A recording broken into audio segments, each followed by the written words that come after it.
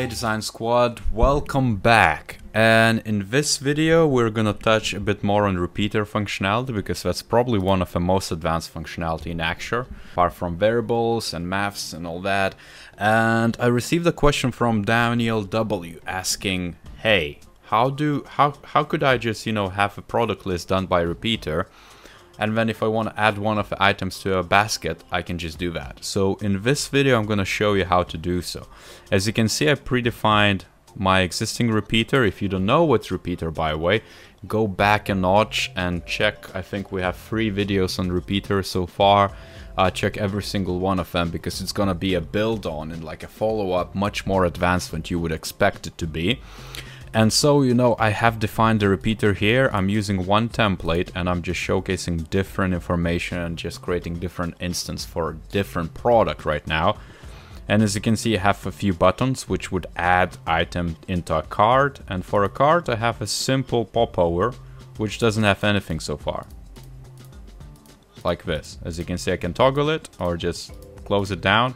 And what I'm gonna do is that whenever I click on this button, I'm gonna take that information and add it into a shopping cart and list it for our friend uh, Daniel W and everyone else who wants to know how to do it. First and foremost, I'm gonna define a second repeater and that's where the tricky bit is because we're gonna take the information we have in this repeater which is predefined and then drag it into this one. So let me show you what we have so far.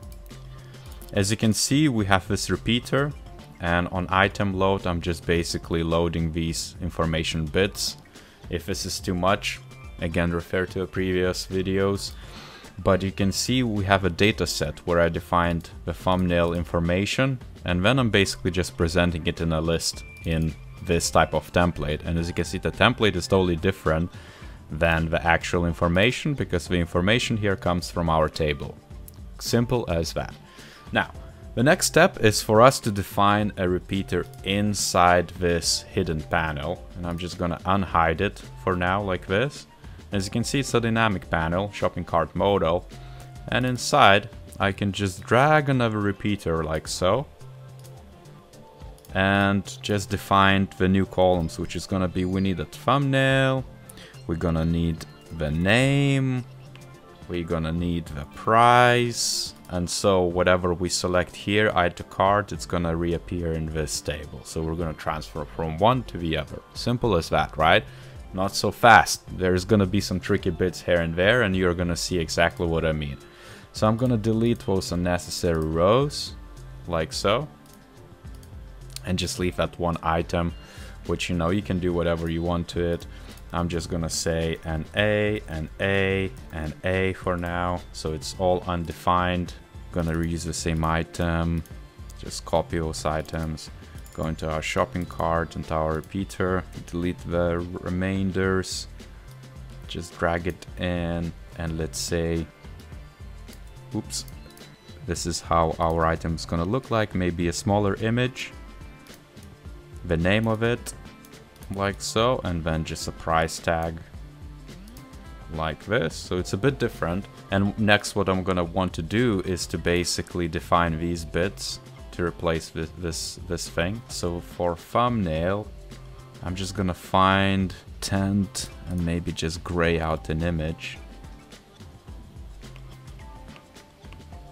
So I have defined a new image for our placeholder gonna just import it. Uh, so it's gonna be gray tent. Open. And then the name is gonna be uh, select a product for now. And the price is gonna be nothing, let's say. Just a simple thing. And now as you can see our placeholder is not gonna contain any of it yet. So what we're gonna need to in interactions, like in any repeater, just define that it has to load it from the data set.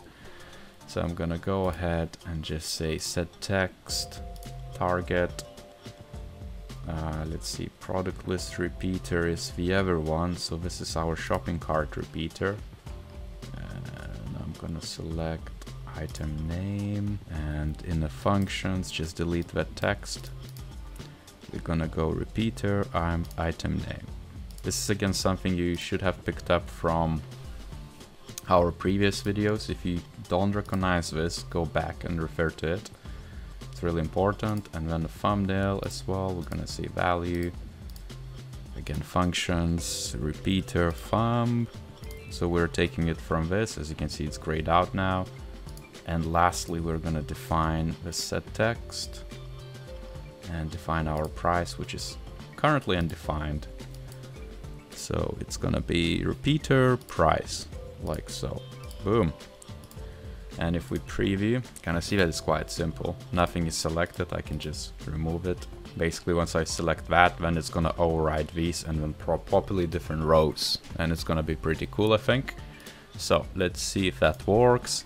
Um, I'm gonna go and just maybe give a name to our repeater, which is gonna be uh, shopping cart repeater. So we know exactly what is what just like so. Now the last bit is going to our add to cart button in a template of a previous repeater of our you know products one.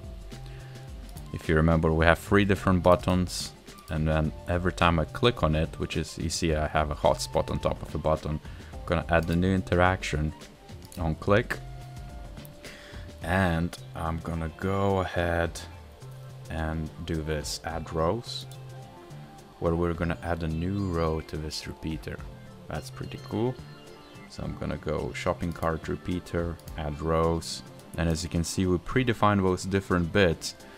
Now we need to add a row and in a functions icon I'm gonna go insert variable and function and select our item thumb click OK then in the name, we're gonna select our item name. Pretty cool. And in a price, I'm gonna select our item price, like so. Boom. Now let's test it out. Let's see if that works. Boom. As you can see, it sort of works, so we can add all those items, which is pretty damn cool. For now, nothing changes, the number doesn't change, this doesn't really change yet. We might need to override it. But as you can see, we can add as many items as we want. I don't know what happened with the price. Mm, that might be some something glitching there. I need to double check. But first and foremost, I'm gonna fix this overlay. As you can see, if we had 100 items, it might not be the best. So I'm gonna just go ahead really quickly and convert this into a dynamic panel. Just expand it maybe like that much. We are gonna go to style immediately and just say scroll vertically. So it's gonna add a nifty scroll bar. You can actually disable it refer to other videos if you don't know how to but you're gonna see that we at least fix that cosmetic issue right away which is basically if I add multiple things boom it adds a scroll bar just might need to reposition the price tag. Uh, so I'm gonna go ahead inside and just do that really quick. Boom. And let's check why didn't it go with a price tag. So we have a price defined and so we're saying add row and the price var item price okay we I, I, think I selected different some random variable it should be item price from our repeater objects. If you scroll down, you're gonna say repeater data set. And this is for this one. So we're gonna do that, item price. So we're saying, hey, take this dataset item and push it in a new row for the other repeater. Because the actual columns are matching, as you can see in a style here, these bad boys, thumb, name, price, match what we have in the actual shopping cart. Thumb, name, price.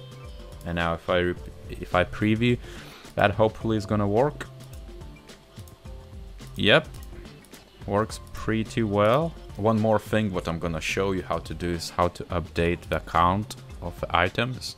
I'm gonna go ahead and just gonna check what's the count. So it's shopping cart number of items is the actual textual field.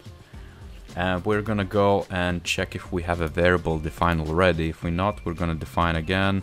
As you can see, number of products. We need to select 0. So this is the variable I'm gonna use. You can add a new one if you want. As you can see, I have quite a few variables. Some of them I don't even need in this prototype. It's from previous prototypes. But so I'm just gonna go ahead and say add card. And whenever I'm gonna add a new row, I'm gonna go bam and set let's say uh, let's see let's see let's see let's see where it is set variable value number of products. And then in the functions I'm gonna say insert variable number of products and just say plus one like so. Easy as that. And what it means basically is that whenever I click on add it's just gonna add a new product to it. And now if I would want to remove it maybe if I add a removal icon to the other repeater and in reverse it and add minus one it's gonna remove it from it. There's just so much you can do with it I'm just not gonna explore because it would be infinite video and it would be too boring to watch it along. So I might just split it into following ones. If you need something specific to follow on let me know. I definitely gonna I can definitely cover it in a future videos. But just to show that it works let's say this is our shopping cart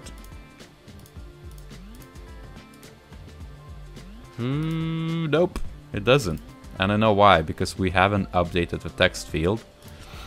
So what we missed in that repeater, here I'm updating the variable value, but I'm not saying it set text. So I'm gonna go ahead and find our uh, shopping cart number of items text field, which is that blue dot. And I'm gonna set it to value of a variable number of products. Boom! And now it's every time we update it, it's gonna select it. So let's see if that works. If I add a new item, one, two, three, four, it works. And I can disable it, enable it, and just to show you that it works like it's supposed to, I'm gonna hide it with this icon. So by default it's hidden. If I preview it, you're gonna see that if I every time I add these product, it updates the cart, and in the cart you have all these products visible. Now, based on our previous videos, you also know how to add the bits here so you can also calculate this. I'm not gonna go into depth into that because it's again it's kind of like repetition of the things. I can cover it in next videos or just refer to my previous videos of how to do so but on a basic level, you would basically say every time you add card, you check what the value is to this and then add it to variable and then update the text field, which is this one. It's easy as that. So, I hope this video was useful. If so, give a like, subscribe to his channel, leave a comment down below if you need anything else answered, and until next time.